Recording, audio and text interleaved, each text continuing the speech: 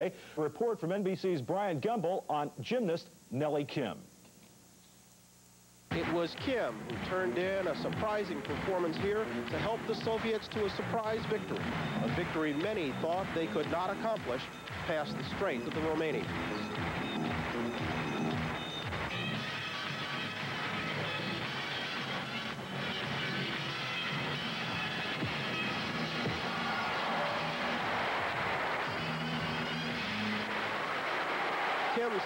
995 floor exercise brought a roar from the home crowd, tears from Nellie Kim, a gold medal for the Soviets, and an emotional reaction from the gymnasts. But as he started his eighth dive... 16 preserved their unbeaten record in the Olympics, which dates back to 1952 by taking the gold medal. Romania placed second when superstar Nadia Comaneci fell flat on her back off the horizontal bars. Even the fall, Comaneci received a 9.50 score to go along with her three pre previous marks of 9.90s and continues a strong threat for gold in the all-around. 15-year-old Maxi Gnauck of East Germany led her team to the bronze. Her perfect 10 on the uneven bars also made her the top qualifier for individual honors, which will be decided tomorrow. Red Sox... The biggest surprise came when Nadia Comaneci actually fell off the bars where she got three perfect 10s at Montreal.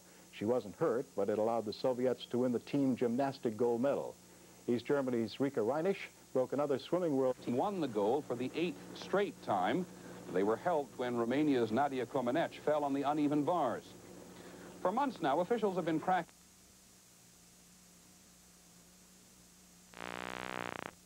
The women's gymna gymnastics competition, Nadia Comaneci of Romania fell at her specialty, and so she probably won't win a gold medal. We'll see that fall during this half hour. These messages.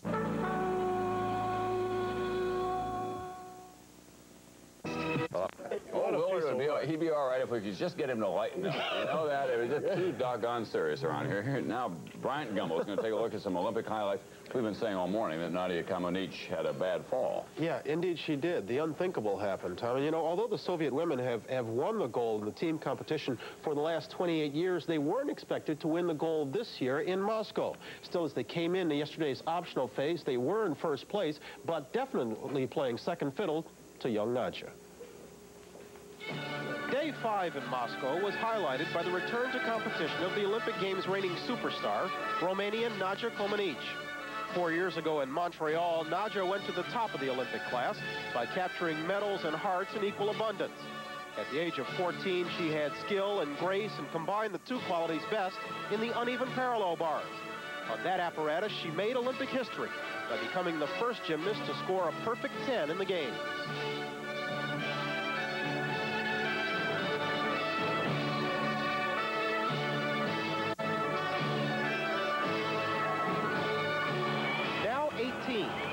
Competing in these games, the Moscow games, Nadia was rated a strong favorite to again win the gold medal on the uneven bars.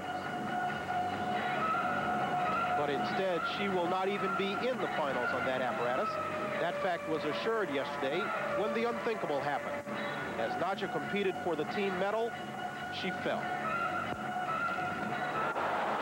Nothing could have been more unexpected.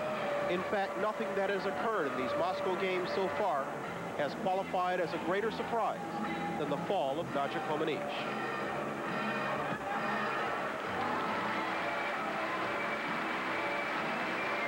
The fall ruined an otherwise perfect performance, for even after being assessed the mandatory 5-tenths deduction for the fall, Nadia still earned a 9-5. Her spill effectively ended any Romanian hopes for a gold in the team competition and left the way clear for the Soviets to pad their team lead. This effort by Elena Davydova earned a 10 from judges who, like the fans, were captivated by a snappy and sassy floor exercise. A diminutive 19-year-old, Davydova was one of many who took advantage of the chance to use tape music at the Olympic Games for the first time.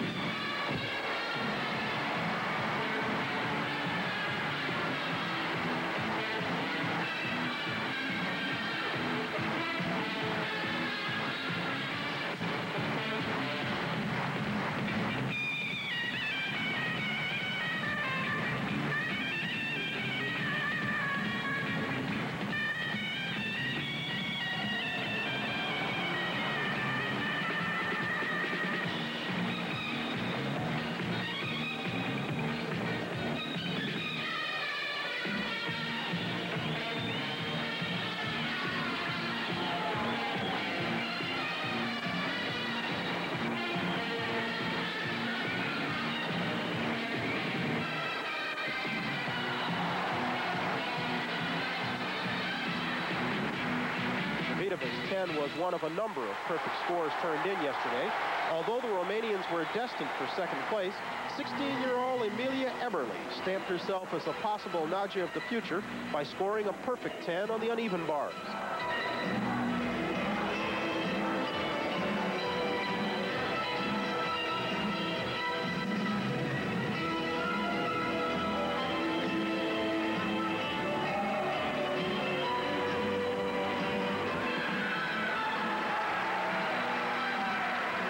Finishing third, the East Germans were able to boast of a bronze medal and of the 10-point performance of 15-year-old Maxi Gnauck. Before Nadia in 76, 10s were unheard of in the Olympics. Now they're almost commonplace.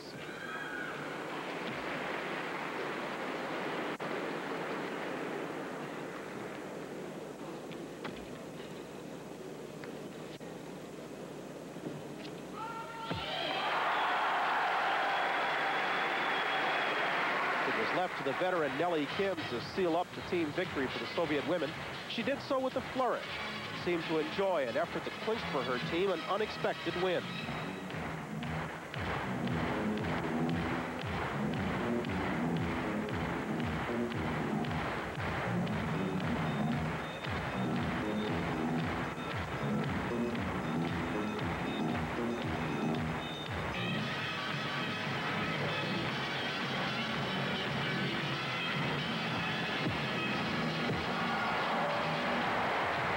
9.95 floor exercise brought a roar from the home crowd, a gold medal for the Soviets, and an emotional reaction from her teammates. Their unbridled joy was in sharp contrast to the cold front that has so typified past Soviet teams. The women's gymnastic team standings look just like this in 76, and with this win, the Soviets continue to trend. They've won the team gold in each Olympics since 1952. And today in Moscow, they're going to have the men's and women's individual all-around competition. We'll get a look at that tomorrow morning. There are an awful lot of tens being given, and they were scarce before. Have they lost their meaning? They were they were unheard of before. It's almost as if when Nadia did it, she opened the doors, and now nobody is really sure of, of just where you draw the line. I mean, if in fact you start taking deductions for mistakes that you see, and you start with a 10, um, they've gotten so good now that uh, that really it has opened the doors, and, and they're all over the place. Now it's a 9-8 that's disappointing. Ryan Gumbel. That's uh, we'll see you tomorrow morning Indeed. more Olympic highlights. All right. Speak that same mistake, but also hope to score high enough to move up in the all-around standings. Her point total of 79.05 is exactly what she had at this point in the competition in Montreal when she was in first. But that total had her only in fourth place today. With that performance, she earned a 10. But in first place, and the person Nadia had to beat today, was tiny Elena Davydova. This charming 19-year-old Soviet girl, who herself earned a 10 in her floor exercise yesterday, needed a solid performance on these uneven bars to stay in front in the competition. She turned in that solid performance and got a 9.95, but then she had to watch as Nadia Comaneci worked the balance beam.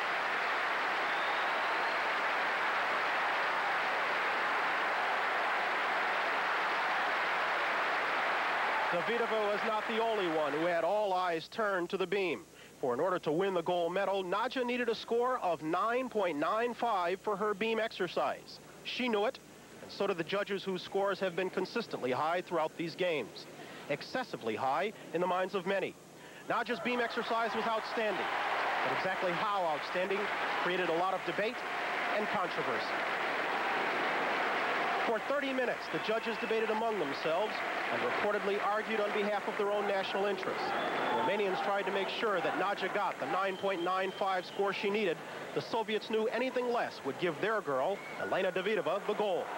It was the Soviets who won out. When the score was posted, Nadia got 9.85.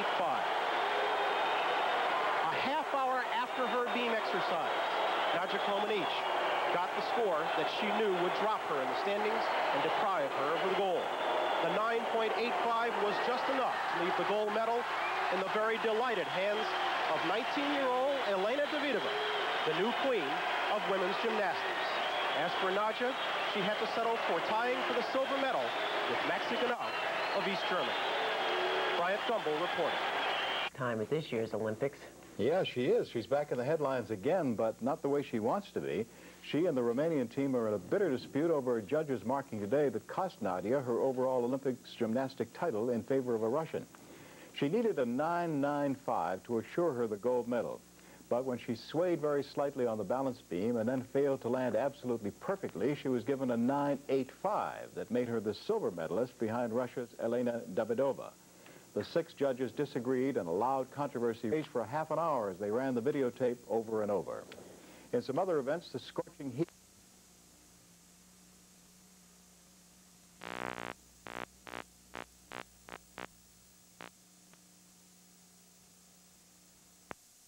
Yatin became the first male ever to win a perfect score of 10 in his event.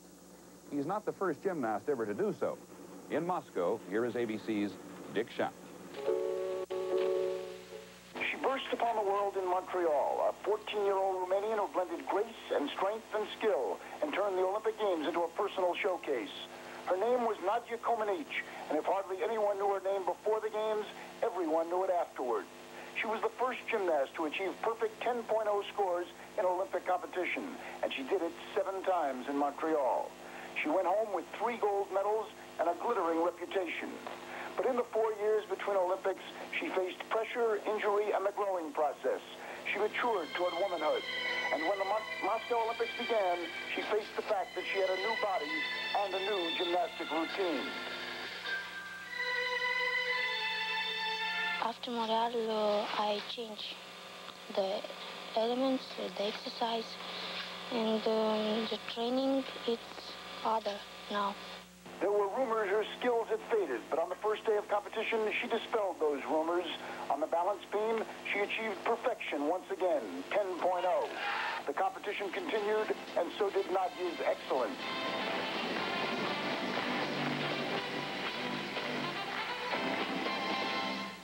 She held first place until the final exercise last night on the uneven parallel bars. Then, suddenly, perfection slipped.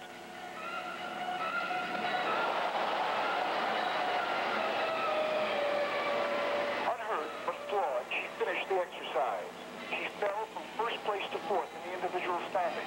Tonight, Nadia battled back. She scored a perfect 10, ironically, on the uneven bars. She came to the final exercise, the balance beam, needing a 9.95 to win the gold. She was given 9.85, triggering a bitter debate that lasted half an hour. In the end, the decision stood. Elena Davydova was the all-around champion. Nadia, tied for second, settled for silver. Dick Schaap, ABC News, Moscow.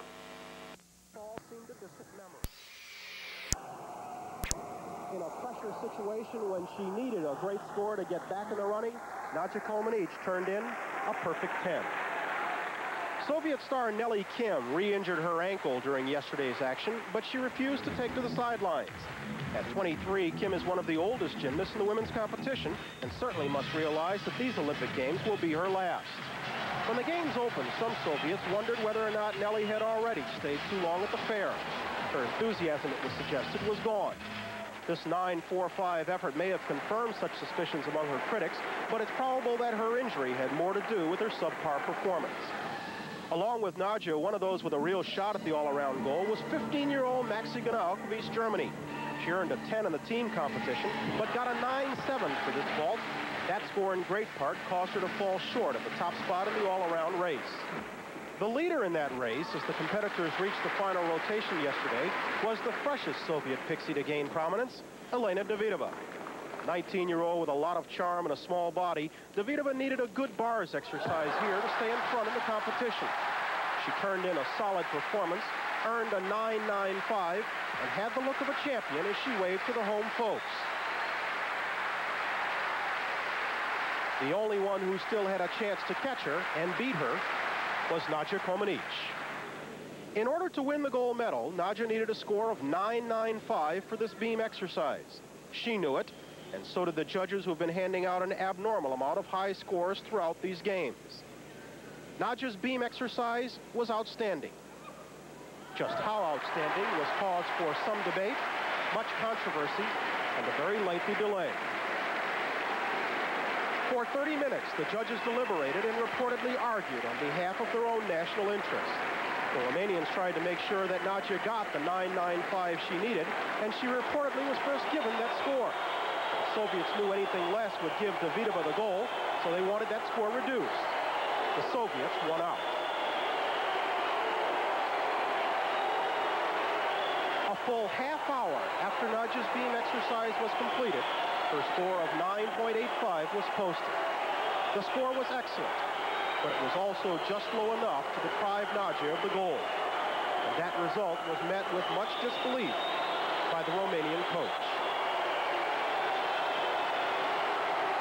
As for the gold medal, it wound up in the very tiny and elegant hands of Elena Davydova, the new queen of women's gymnastics. The dethroned Nadia Comaneci had to settle for a silver medal tie with Maxi Gnauck.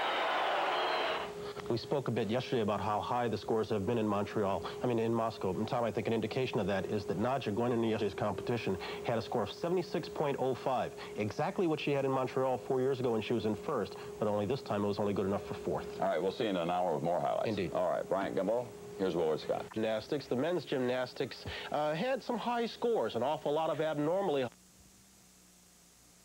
country of Romania are considering boycotting the rest of the Olympics.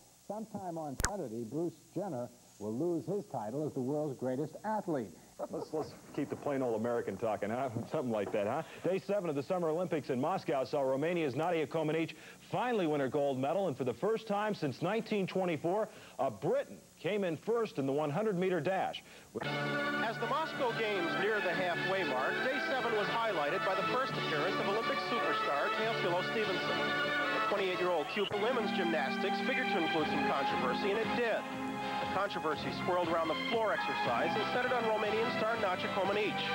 Completing what some might consider a disappointing Olympic Games for her, Nadia completed this exercise, then saw a 9.90 posted on the scoreboard, and that put her in third place.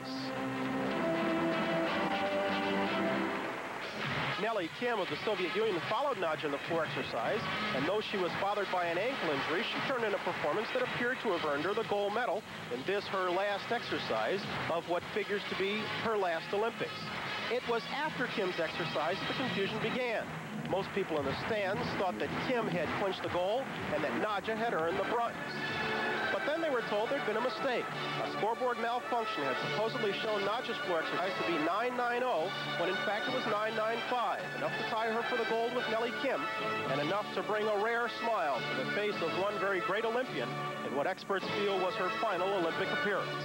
Bryant Gumbel reporting. Our swimmers in women's gymnastics continues to dominate the news out of Moscow. Nadia Comaneci's Romanian coach charged Russia with arranging Comaneci's low marks in yesterday's competition so as to ensure a Soviet gold medal in the all-around event. The Romanian press went a bit further, saying Russia stole Nadia's gold medal. Nadia did get a measure of revenge, winning the gold in the beam event today. East Germany's Maxi Gnauck won the gold in the uneven bars. Elsewhere, heavyweight catching at the Moscow Olympics. If the same practices were being used in the big-time American sports world, the likes of Tommy Heinsohn and Earl Weaver would be gods of sport, being capable of turning defeats to victories with a single utterance. Remember last night, these superimposed letters aside, Nadia Comaneci had apparently locked up the overall title with this performance on the balance beam. However, a hasty deliberation of judges turned what was at first a winning score to a losing one, and Russian Nina Davydova was given the gold, and Nadia was given a heartache. Her coaches screamed plot since the revised score was ordered by the Soviet president of the Gymnastics Federation. Well, today it was Nadia who got an apparently arbitrary win. After finishing third in the floor exercises, her coaches complained that her score should have been higher. And sure enough, it was upgraded, and Nadia got the gold, along with Nellie Kim. Nadia also won the balance beam after officials tossed out complaints that the scores of the Russian runner-up were not high enough. And in more straightforward matters, Allan Wells beat Cubans. The Romanian gymnast Nadia Comaneci won two gold medals. The glamorous men's 100-meter dash. Patrick Hospitals. Today, the Romanian gymnast Nadia Comaneci won two gold medals. The glamorous men's one. The Iron Curtain. 195. Day three, Nadia begins her competition. Suspense, confusion, and controversy follow her every move. Day four, tradition falls as an Olympic banner is raised, not a national flag during a medal ceremony. Day five, the crowd roars and the diver collapses, but it's the judge's decision that creates the biggest splash. Day six, with a 10, Alexander Ditiatin begins his domination of men's gymnastics. Day seven, a Soviet tries to tie all order by winning.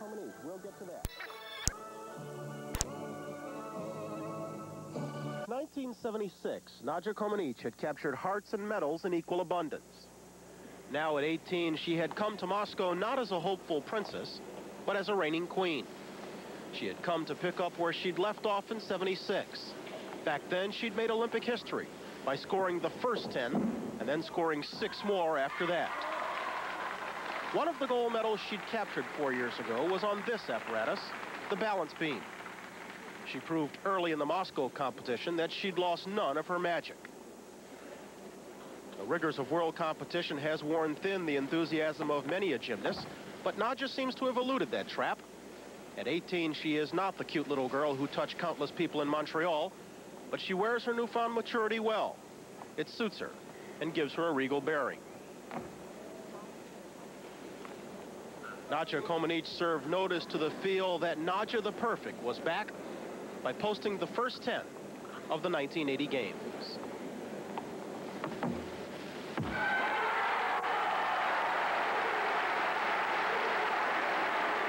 The Soviet women's cause was launched by Natalia Shaposhnikova's vault. The diminutive 81-pound Soviet drew a thunderous ovation from the crowd as she collected this perfect score, her first attempt of the day. Shaposhnikova's vault opened the door for the powerful Soviet women who have won the team competition in every Olympics dating back to 52. Their strong early performance put them in first place following the compulsory stage of the competition.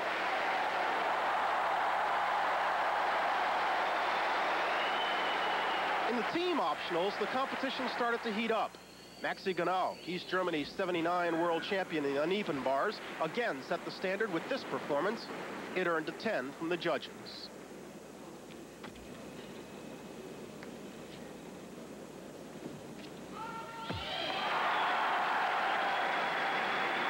But it seemed that for every 10 one of the other teams turned in, the Soviets would come up with one of their own.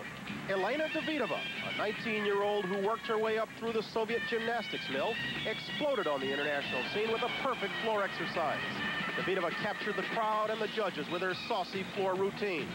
She was one of many gymnasts to spice up their routines by using tape music for the first time in the Olympic Games.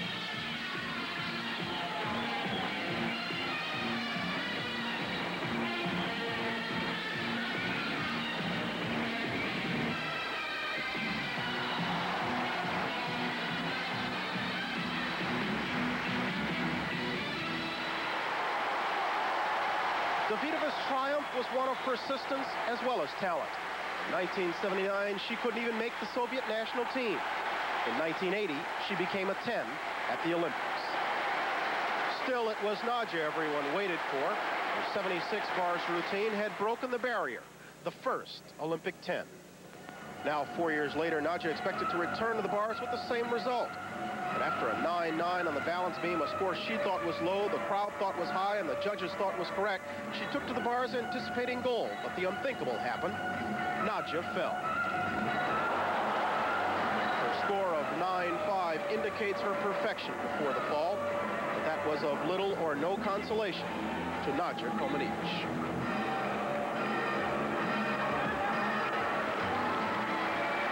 Competition, the Soviet women took the gold, with the Romanians getting the silver and the East Germans the bronze. This was the same order of finish as Montreal. A day later in the individual all-around competition, Nadia took to the bars needing a strong scoring performance to avoid a second spill. She did both as she was again perfect, roaring back into gold medal contention with a 10. East Germany's Maxi Gnauck had been contending for the gold, but a poor vault dropped her down, leaving only Elena Davydova between Nadia and the top spot. Davydova knew a strong performance in the bars would put all the pressure on Nadia, So before a pro-Soviet crowd, she hit it. The judges gave her a 9.95, allowing her to sit back and watch Comaneci go to work on the beam. Once again, the Romanian occupied center stage. She knew she needed a 9.95 from her beam exercise to take home the gold. The crowd knew it, and so did the judges whose scores had been considered excessively high throughout the game. Nadia's beam exercise was outstanding. Exactly how outstanding created a lot of debate and controversy. For 30 minutes, the judges debated among themselves and reportedly argued on behalf of their own national interests. Romanians tried to make sure that Nadia got the 995 score she needed. The Soviets knew anything less would give their girl Davydova the gold. It was the Soviets who won out. A half hour after Nadia's beam exercise, she was awarded a score of 9.85, a score she met impassively, but which was greeted with disbelief by the Romanian coach. The 9.85 count was just enough to leave the gold medal in the very delighted hands of Elena Davydova. At 19, the new queen of women's gymnastics. Nadia tied for the silver with Maxi Gnauck of East Germany. Two days later, Comaneci won a gold on the beam, then contested another in the finals of the floor exercise. She needed a 9.95 to bring home the gold. A veteran of the perfect 10, she oozed confidence. When the scores were posted after this dazzling display, the board showed Nadia had earned only a 9.9, enough to get her only a bronze medal in her final competition. Nadia's back was to the wall, and she trailed because of the brilliance of Nellie Kim's performance. Kim, the defending gold medalist in the floor exercise, had re-injured her ankle, and some had said that at the advanced age of 23, she had lost some of her enthusiasm. But she proved to be the total gymnast, turning in an exciting 9.95 for her floor exercise. Kim went to the winner's stand to accept the gold. The crowd was surprised to see her joined there by Nadia Comaneci. It seems that Nadia's bronze medal had turned into gold when it was discovered that her correct floor exercise score was 995, not 990. Supposedly, the electronic scoreboard had malfunctioned. What a fitting finish. An event that had been surrounded by controversy ended in confusion. I'm joined now by Bart Conner, a gold medal winning gymnast at the World Championships in Dallas just last year. But this fall hurt her chances greatly. Then, despite a magnificent sequence on the beam, Nadia was not awarded the high score that she and her coaches believed she had earned. Confusion and arguing followed. Nadia won one gold, and gymnastics ended pretty much as the Olympics had begun, in